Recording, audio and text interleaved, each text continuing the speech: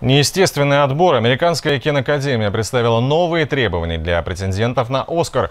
Чтобы завоевать статуэтку, просто быть талантливым уже недостаточно. Лучший фильм теперь тот, в котором поддерживается гендерно-расовое разнообразие. Так, треть актерского состава должна быть представителями сексуальных меньшинств или хотя бы один из исполнителей главных ролей не белым. В новых стандартах разбирался Павел Прокопенко. Четыре критерия, из которых два обязательны. Первое — актерский состав. Так, по меньшей мере, один из артистов, играющих роль первого или второго плана, должен быть представителем расовых или этнических меньшинств. В случае, если достичь этого невозможно, 30% всей остальной труппы должны быть женщинами, представителями расовых, этнических, сексуальных меньшинств или людьми с ограниченными возможностями.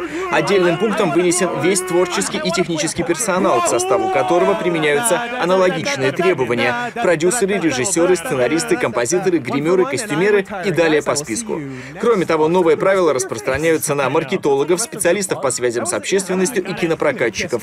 Четвертый пункт – обязательное привлечение к работе над картиной стажеров и практикантов из перечисленных гендерно-расовых групп. Эти стандарты рассчитаны на то, чтобы на справедливой основе обеспечить разнообразие людей на экране и вне его с целью отразить различия среди кинозрителей.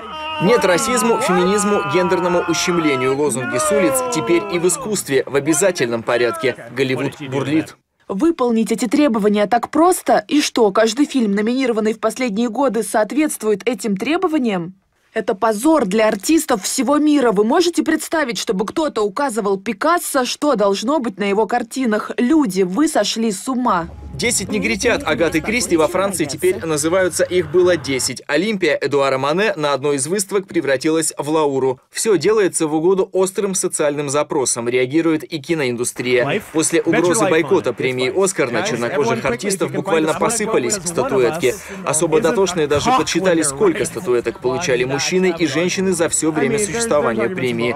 Результат не в пользу слабого пола рассматривался как дискриминация.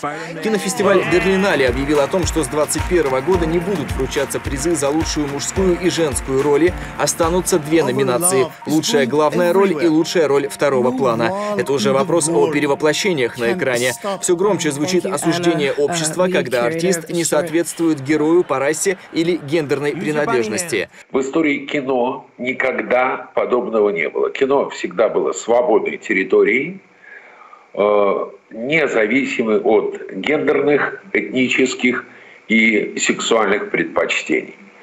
На мой взгляд, Американская киноакадемия слегка повредилась умом. Эти требования, безусловно, невыполнимы, но как вы будете проверять, сексуальную ориентацию. Волны протестов докатились даже до самого консервативного жанра. Американцы потребовали у Метрополитен-оперы извинений за так называемый blackface – пародирование чернокожих. В спектакле «Аида» при создании образа эфиопской рабыни для белокожих певиц используется грим. Не устоял перед новой цензурой и «Оскар». Теперь, чтобы получить заветную статуэтку, недостаточно снять просто хороший фильм. В первую очередь нужно подумать о различных социальных меньшинствах, мнение которых становится большинством. Такое кино. Павел Прокопенко, Мария Митушева, Владимир Хуртин, ТВ-центр.